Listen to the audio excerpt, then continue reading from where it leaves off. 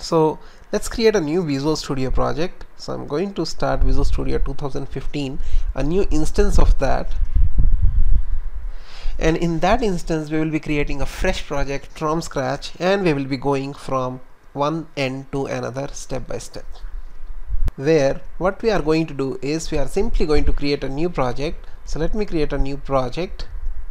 And the project that we are going to create will be Visual C Sharp project.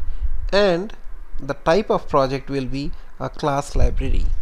So in this let me give it a name called being 0 dot n unit dot parallel tests.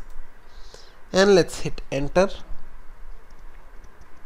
Now it will take some time to create a project for us. And there we are. We have a project ready and in this project what I'm going to do is I'm going to add some test cases. So let me remove this default class that we have. So we can right click we can delete this. So let me click this delete and we permanently delete it. Now let's see which categories we are going to add. So I'm going to add three category of test cases out of all that we had earlier. So the first category of test cases that I'm going to add are home page related test cases.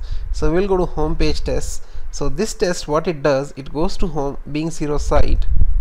And on home page of this site we simply go and count the hyperlinks. How many hyperlinks are there on our web page? Then we also count how many unique hyperlinks are there on our web page. So that's how uh, we will start with home page related test then what we will do? Second category of test we will pick is a web tables based test.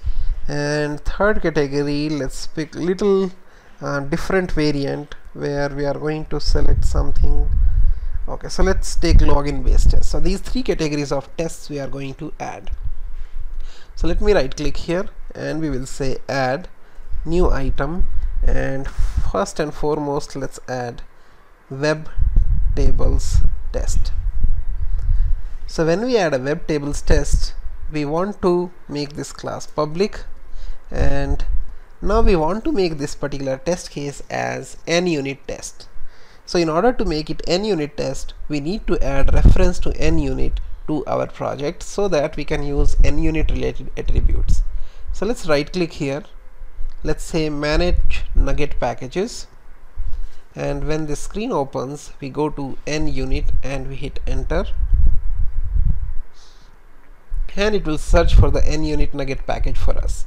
And this is the first one that shows here. That is what we want to install because NUnit 3.0.0 has support for parallel execution. So let's go and hit install. And this will start installation of the required dependencies. So let's hit ok here and once we do that we will notice that NUnit would have been added here as a reference. Now once we have reference to NUnit added let's go back to our web table test and let's put a attribute here test fixture. Because NUnit says a class is a test fixture so we do control dot and we hit enter and this fixture has made our class as a test class now inside this we want to have a test case added.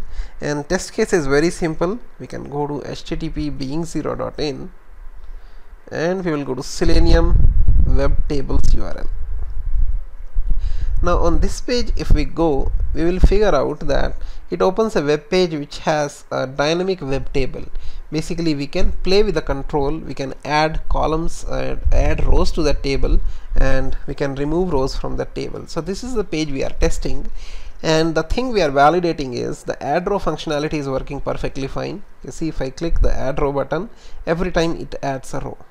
Same way if we select two rows and if we simply click delete row button then we see the rows uh, two rows are deleted.